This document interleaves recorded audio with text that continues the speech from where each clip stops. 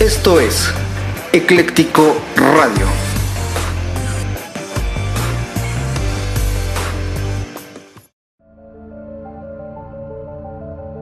Hola, hola, ¿qué tal amigos? ¿Cómo están? Bienvenidos a La Polaca Loca, aquí por Ecléctico Radio. Como me encanta hacer eso. Bueno, eh, el audio pasado, como pudieron escuchar, hablé sobre lo que sucedió el día 7 eh, en el metro de la ciudad. Un hecho lamentable.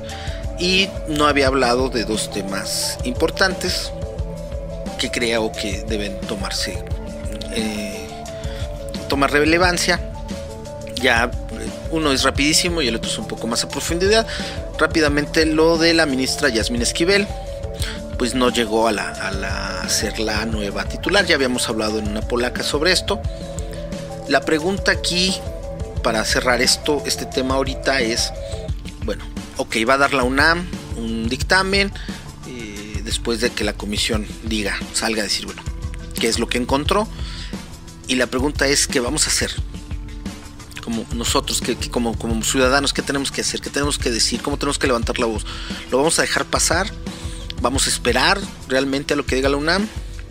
¿O vamos a tomar alguna medida, algún algo, salir a este tipo de, de, de, medios como YouTube y levantar la voz y que todos no olvidemos el tema de que ahí hubo un plagio y pues ya como ya no fue la ministra la presidenta, pues ya lo olvidemos, no, tenemos que salir y seguir hablando de esto para que no quede en el olvido y no caiga como todo lo que pasa en la 4T en el olvido.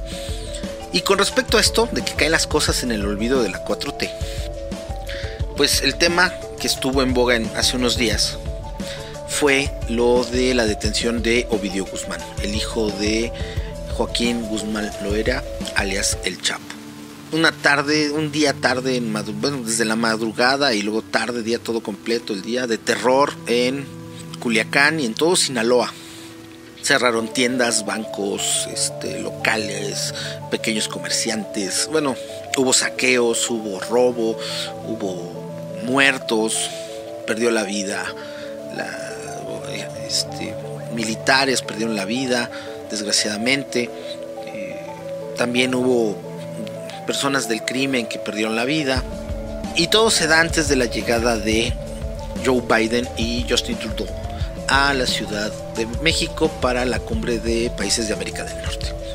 Ya saben, muchos por ahí dicen, no, es que es la manera en la que se va a reivindicar eh, Andrés Manuel con el presidente de la República con Joe Biden, que fue como que algo que le exigieron, etcétera. Se le trasladó que en una camioneta, ¿no? Que en un helicóptero. Ha habido una serie de rumores y de cosas. Y siguen distrayendo de otro tipo de, temas. Digo, esto es muy importante, pero hay otro, otros temas que también son importantes que en un momento quedaron un poco opacados.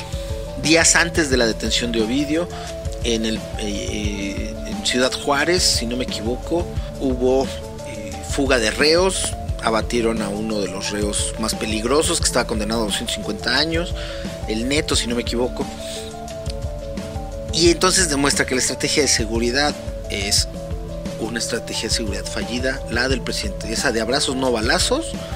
Pues ya vimos otra vez un helicóptero eh, disparando, ¿no? Balas de grueso calibre y todo lo que se dio y que se sigue dando en Sinaloa con respecto a la detención de Ovidio Guzmán.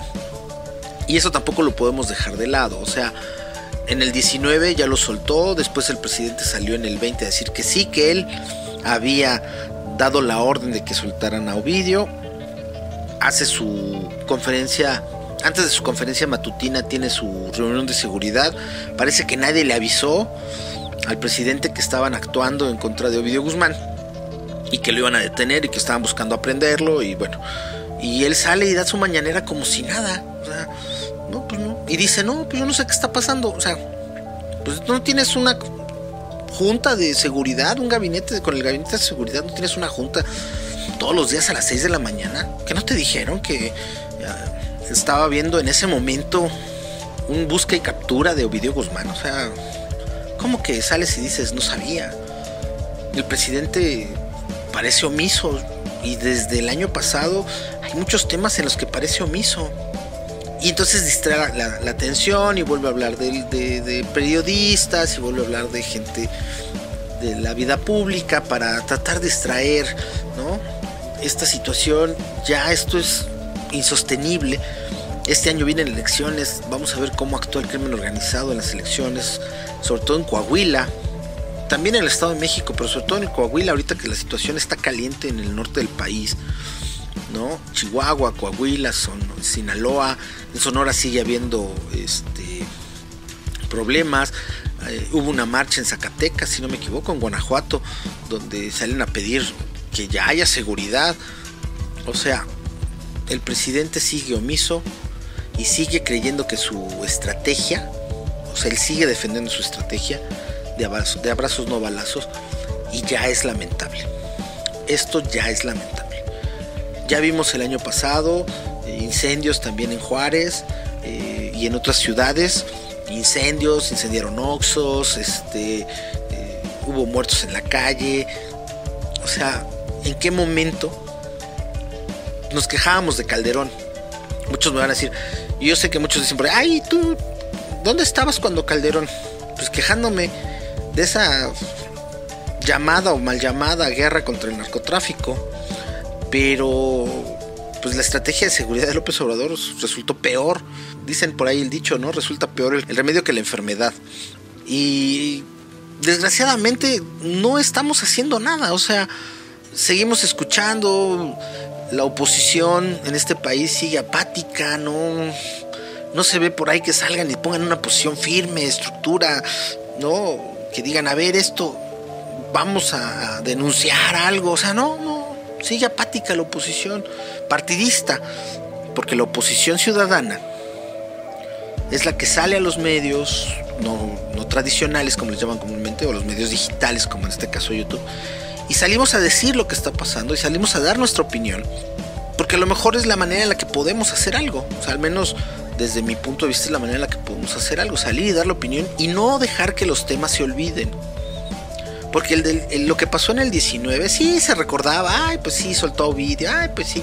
Y ahora que lo toman, digo que, está bien, o sea, no estoy diciendo que estuvo mal, que bueno, que a lo mejor no le avisaron al presidente por alguna razón, está bien, y que tomaron decisiones los mandos de seguridad, está bien.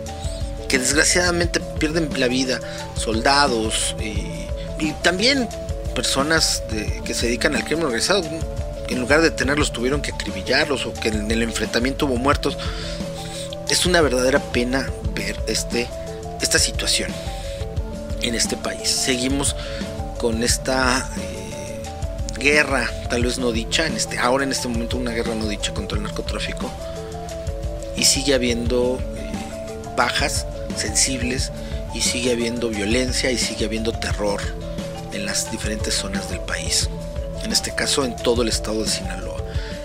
cerraron, bloquearon eh, salidas, ¿no? Carreteras, le dispararon un avión de Aeroméxico, eh, dispararon a una, contra un avión del ejército y, o sea, en verdad esto ya no puede seguir así. Debemos de levantar la voz como ciudadanos, con nuestros amigos, con nuestros vecinos, y decir, oye, no permitamos que esto pase. No importa cuál sea tu filia o tu fobia política, no importa si eres eh, pro Andrés Manuel o estás en la oposición civil o ciudadana de Andrés Manuel. No importa, pero que sí se pueda uno llegar a acercar y decir, oye, esto, esto ya es insostenible.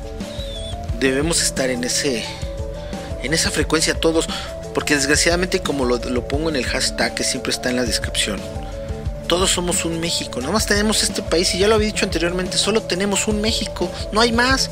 No tenemos otro país, es este nuestro país y este es al que tenemos que salir y dar la cara y desde nuestra posición hacer lo que podamos. Si es hablar, si es compartir mensajes de WhatsApp, si es eh, salir y tener un canal de YouTube o hacer un video o no sé, exigirles a nuestros legisladores ¿sí? Con, a partir de sus correos, mandarle, oye, ¿dónde está la oposición? Mandar correos, ¿dónde está la oposición? oigan, den un, ya pongan una postura firme, porque ellos son los que se encargan de la política, los partidos. Nosotros somos los que nos encargamos de hacer que ellos hagan su trabajo bien. Y decirle al presidente, señor presidente, por favor, reaccione. La estrategia de seguridad no funciona, no funcionó, no funcionará. Y esto que está pasando con, con la detención de Ovidio Guzmán, más allá de que si fue para darle gusto o no a, Biden, o si fue un acuerdo político, más allá de todo eso, lo que se desató posterior tenía que haberse planificado para que no sucediera. O sea, tenían que haber planeado y saber que esto iba a pasar y tener la suficiente estrategia para que se minimizara lo más posible y no pasara lo que pasó desgraciadamente pareciera que nada más era detenerlo y que arde el mundo. Y eso, eso no puede seguir pasando en este país. Vamos a dejarlo aquí. Vamos a esperar ahora que venga a la cumbre. Vamos a ver qué reacción hay. Se cree que Ovidio ya está en el altiplano. Vamos a, a ver cómo se da, si se da la extradición o no.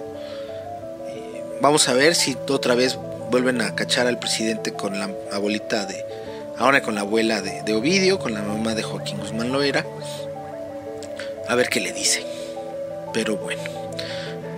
Ya saben, sigan a José Ocha en sus redes sociales, está ahí abajo en la descripción. Síganos por favor, les agradezco. Ha tenido muy buena respuesta el canal, eh, los últimos videos de la polaca. Vamos muy bien en visualizaciones. Sigan así, compartan, comenten, suscríbanse, denle like. Por ahí van a oír la campana de la basura, ya aquí viene en la noche. Les mando un saludo y hasta siempre.